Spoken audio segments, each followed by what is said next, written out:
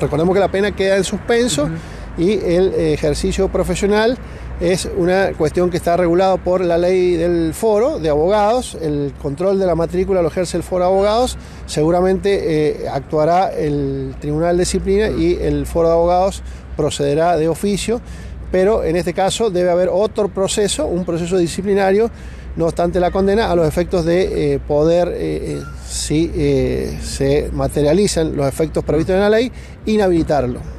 Eh, y por último, consultarle en cuanto a este encubrimiento que, es, que se ha dado a la luz, una pena que ya ha tenido su resolución y otra que está en curso.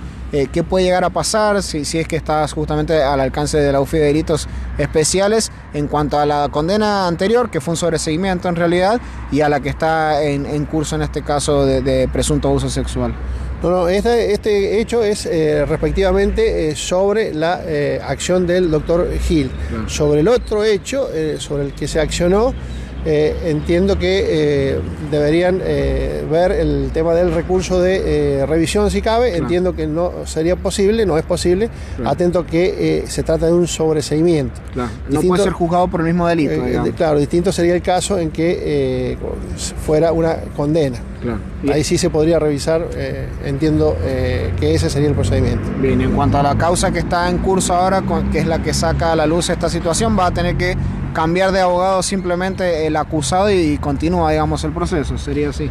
Es que hay, recuerde, hay dos causas, una terminó con el sobreseimiento y eh, la, otra eh, causa terminó, ya terminó con una ah, condena, porque eh, recuerde que en el, hecho en base al cual se inicia la investigación, la menor de edad y junto a su madre no accedieron a cambiar la declaración, no accedieron y aportaron la grabación que da origen a esta investigación.